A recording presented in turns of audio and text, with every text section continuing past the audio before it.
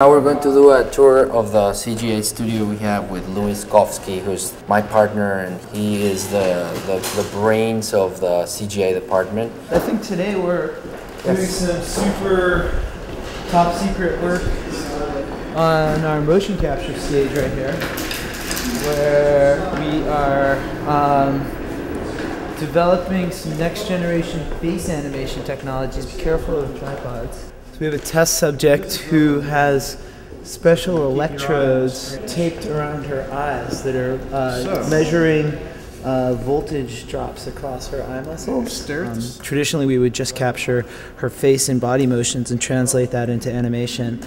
But right now, we're also writing software and developing hardware to be able to capture her eye movement as well. But it'll be used uh, in a range of video games and different films that we have slated coming up.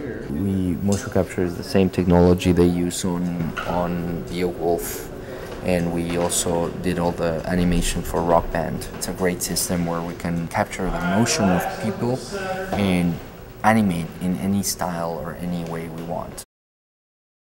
We're working on a variety of TV shows, commercials, films, video games, um, mixed media digital production.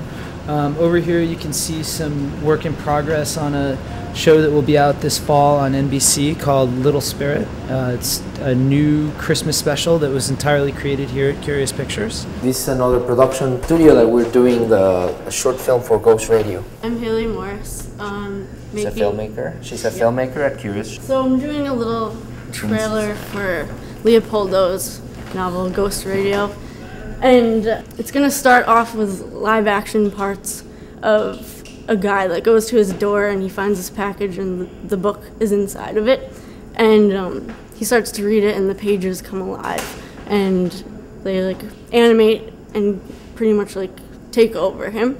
So he's taken into this this creepy world, which will then show these two puppets that are made of book pages. We are creating another website that is called areyoureallylistening.com, which is basically a platform that you have your own intimate uh, recording radio booth. When you point at this uh, monitor, you'll see uh, videos that people send and that I've created that have to do with a supernatural experience. Some of them are realistic, like Ghost Hunters, but some are more like lyrical.